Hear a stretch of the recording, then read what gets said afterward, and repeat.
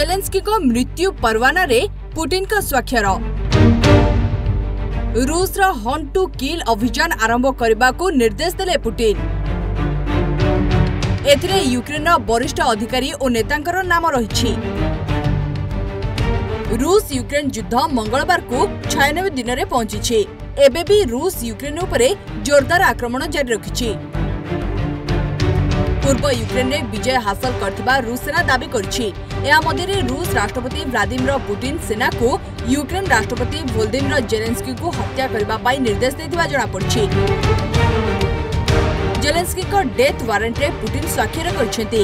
ଏହା ସହିତ ନିଜ ସେନାକୁ ହନ୍ ଟୁ କିଲ୍ ଅଭିଯାନ ପାଇଁ ମଧ୍ୟ ସବୁଜ ସଂକେତ ଦେଇଛନ୍ତି।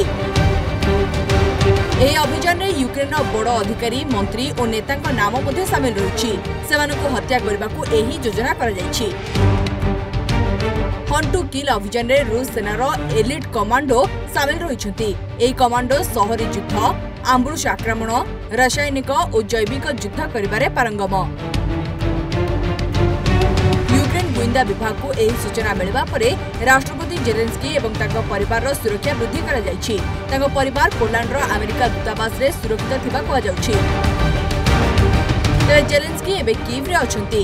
ଏଥିପାଇଁ କିଭ୍ ଏବଂ ଏହାର ଆଖପାଖ ପ୍ରମୁଖ ସହରର ସୁରକ୍ଷାକୁ ବଢ଼ାଇ ଦିଆଯାଇଛି। ସହରକୁ ଯାଞ୍ଚ କରୁଥିବା ଲୋକଙ୍କର ଯାଞ୍ଚ ମଧ୍ୟ କରାଯାଉଛି। ରାଷ୍ଟ୍ରପତି ବାରମ୍ବାର ନିଜର ସୁରକ୍ଷା କର୍ମୀଙ୍କୁ ମଧ୍ୟ ବଦଳାଉଛନ୍ତି। ସେ କାହା ଉପରେ ସହଜରେ ଭରସା କରିପାରୁନାହାନ୍ତି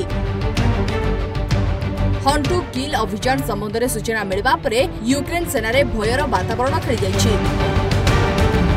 କାରଣ ୟୁକ୍ରେନ୍ ସେନାରେ ନିଜ ଦେଶ ସହିତ ଅନ୍ୟ ଦେଶର ସୈନିକ ମଧ୍ୟ ସାମିଲ ଅଛନ୍ତି। ଏହାପରେ ଜେଲେନ୍ସ୍କିଙ୍କ ସୁରକ୍ଷାକୁ ବଢ଼ାଇ ଦିଆଯାଇଛି। ରିପୋର୍ଟ ରାଜୀବ